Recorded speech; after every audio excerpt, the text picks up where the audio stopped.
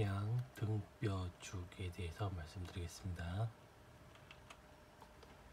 임원 16지 보양지 서유구 19세기 초 양척 죽방이라고도 합니다.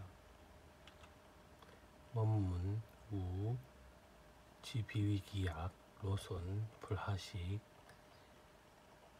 대양척골 일구 비자 퇴쇠 이수오승 전취 이승즙 하청량미 사합 자작죽 공심식지 가하오미 상복 기공난급 심효 번영문 또 다른 방법 비위의 기가 허약하고 노손하여 음식이 내려가지 않는 것을 치료합니다.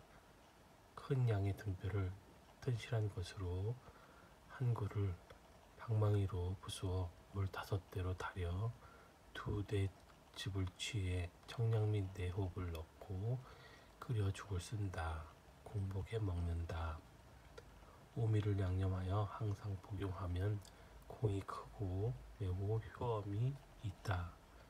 조리법 1.